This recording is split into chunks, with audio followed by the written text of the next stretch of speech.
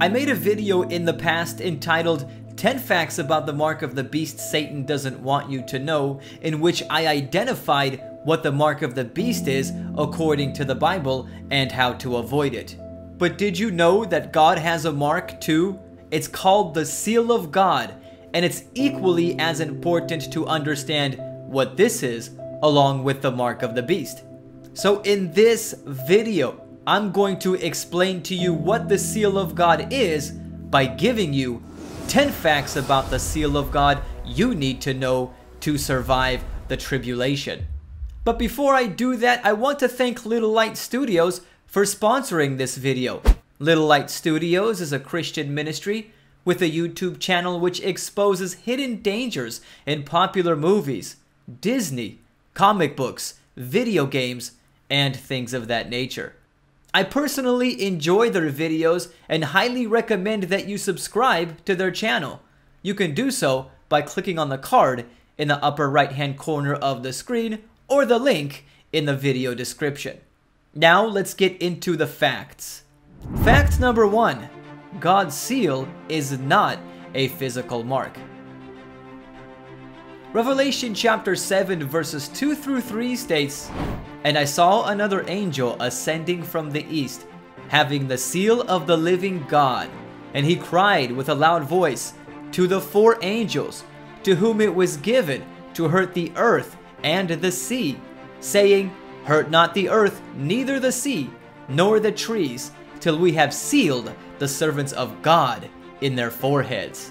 Notice that it's an angel doing the sealing here, and other angels recognize this seal. So this is not a physical mark.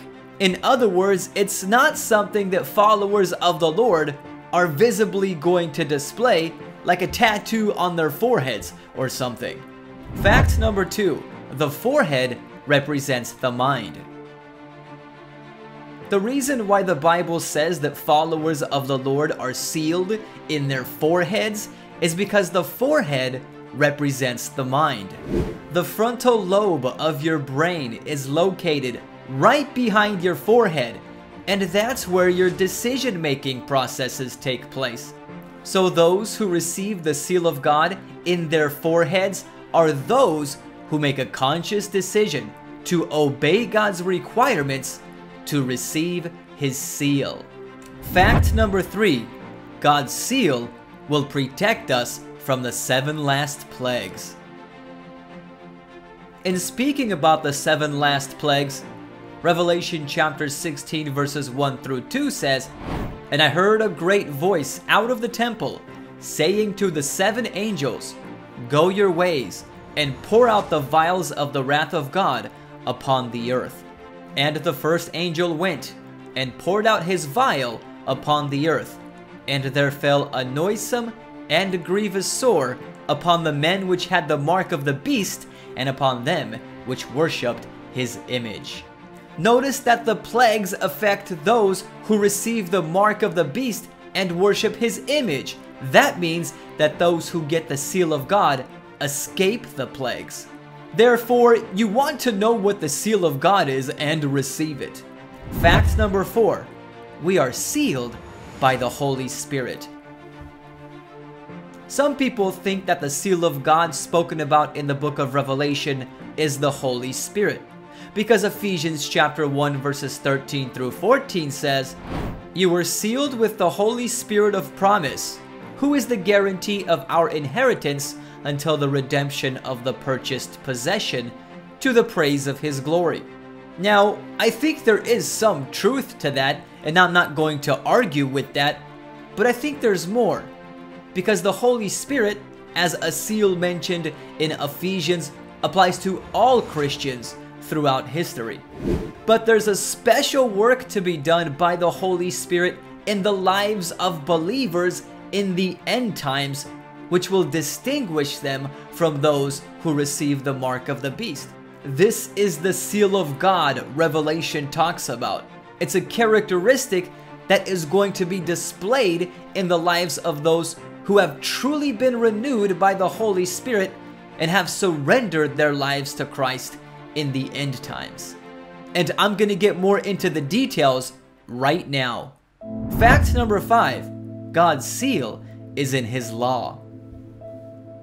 The Lord said in Isaiah chapter 8, verse 16, Bind up the testimony, seal the law among my disciples.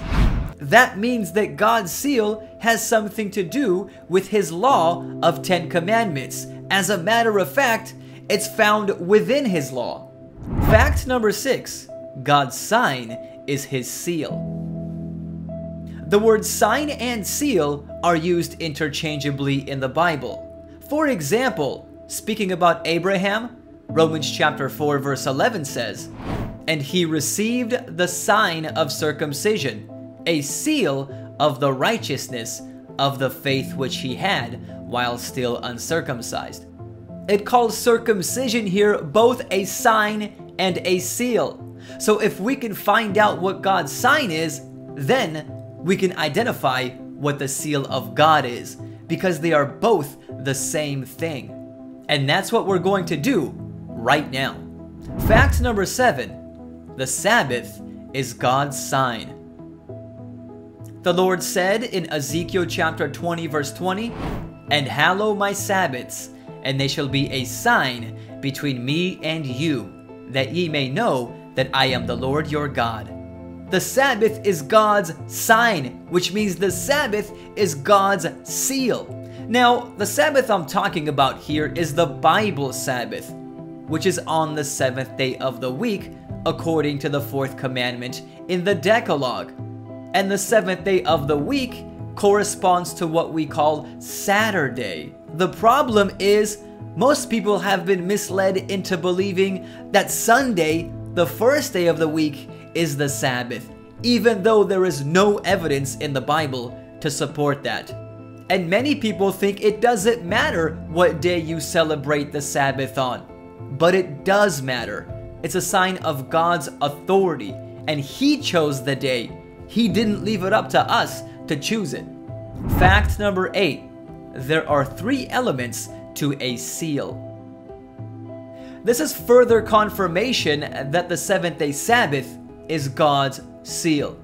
A legal seal typically contains three elements one, the name of the seal giver, two, his title, and three, his territory. For example, when Jesus' tomb was sealed by Pontius Pilate to make it secure, according to Matthew chapter 27, verses 62 through 66, that seal would have read Pontius Pilate, that's his name, King that's his title, of Judea, that's his territory. These three elements are found in the fourth commandment, the one that tells us to keep the Sabbath holy. You can read it in Exodus chapter 20, verses 8 through 11. It says, Remember the Sabbath day to keep it holy. Six days shalt thou labor and do all thy work, but the seventh day is the Sabbath of the Lord thy God in it thou shalt not do any work, thou, nor thy son, nor thy daughter, thy manservant, nor thy maidservant, nor thy cattle, nor thy stranger that is within thy gates. Now here is where we find his seal. For in six days the Lord, that's his name, made, that's his title, creator, heaven and earth, the sea, and all that in them is, and that's his territory, everything in existence, and rested the seventh day. Wherefore the Lord blessed the Sabbath day and hallowed it. Therefore, the seventh day Sabbath is the seal of God. Fact number nine 777 is found in the Sabbath. In the book of Revelation, the beast power which deceives the world into accepting the mark of the beast is identified by a number. Revelation chapter 13, verse 18 tells us, Here is wisdom. Let him who has understanding calculate the number of the beast, for it is the number of a man. His number is 666. Did you know that the number 777 is associated with the Sabbath? When the Sabbath was instituted on the seventh day of creation week, Genesis chapter 2 verses 1 through 3 says, Then the heavens and the earth and all the host of them were finished. And on the seventh day, God ended his work which he had done. And he rested on the seventh day from all his work which he had done. Then God blessed the seventh day and sanctified it, because in it he rested from all his work which God had created and made. In case you missed it, that passage says seventh day three times. That's three sevens. And that's significant because it sets the Sabbath in opposition to the beast and his mark. Fact number 10 144,000 Israelites will be sealed. Revelation chapter 7, verses 1 through 4 says, And after these things I saw four angels standing on the four corners of the earth, holding the four winds of the earth, that the wind should not blow on the earth, nor on the sea, nor on any tree. And I saw another angel ascending from the east, having the seal of the living God. And he cried with a loud voice to the four angels to whom it was given to hurt the earth and the sea, saying, Hurt not the earth, neither the sea, nor the trees, till we have sealed the servants of our God in their foreheads. And I heard the number of them which were sealed, and there were sealed an hundred and forty and four thousand of all the tribes of the children of Israel. Does that mean that you have to be Jewish to receive God's seal and be delivered from the seven last plagues? No. If you continue reading on, it says that 12,000 Israelites from each of the 12 tribes of Israel are sealed. However, there's a problem with that. When John wrote the book of Revelation, only two of the original 12 tribes remained in existence, and that was Benjamin and Judah. The other 10 tribes were lost track of after they were taken into Assyrian captivity in 722 BC. They basically just assimilated with the Assyrians and lost their identity. So from that, it's safe to conclude that the book of Revelation is not being literal. It's being symbolic when talking about the Israelites who will be sealed. Not to mention, the Bible indicates that believers in Christ are spiritual Israel. Galatians chapter 3 verse 29 tells us, And if ye be Christ's, then are ye Abraham's seed and heirs according to the promise. Abraham was the father of the nation of Israel. Those who believe in Christ are the descendants or seed of Abraham in a spiritual sense. That means that all Christians are spiritual Israelites and the 144,000 are going to be Christians, not literal Jews. Now about the number 144,000. There is some debate, even in my church, about whether or not this number is literal. Some respectable theologians, which I look up to, claim that it is symbolic, while others say it's literal. And personally, I don't know for sure because the 144,000 haven't been sealed yet. But in case that discourages you or makes you think that only 144,000 people are going to be saved, after mentioning the 144,000, Revelation chapter 7 verse 9 says, After this I beheld, and lo, a great multitude, which no man can number, of all nations and kindreds and people and tongues, stood before the throne and before the Lamb, clothed with white robes and palms in their hands. It's not only the 144,000 that are going to be saved. The great multitude here represents all those who get saved and make it into the kingdom besides the 144,000. The 144,000 are simply Christians who live through the final tribulation and receive the seal of God and stand in opposition to those who receive the mark of the beast. The devil has his mark. It's called the mark of the beast.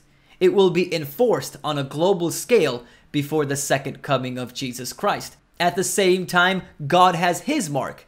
It's called the seal of God.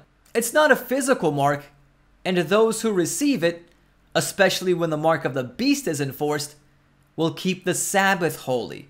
They do this because they are totally surrendered to God and will obey him at all costs, even if it means jeopardizing their life. By the way, check out my Sabbath Keeper t-shirt by clicking on the card on the screen or the link in the video description. It could be a good conversation starter to help you share your faith and proceeds from your purchase help keep my channel going. Not to mention, you'll get free shipping in the United States if you order now. If you'd like to learn more about the Sabbath, click on the screen to watch my video entitled 20 Facts About the Sabbath Every Christian Must Know. Subscribe to my channel if you're new, and if you enjoyed this video, feel free to like it and share it. Thank you for watching, and God bless you.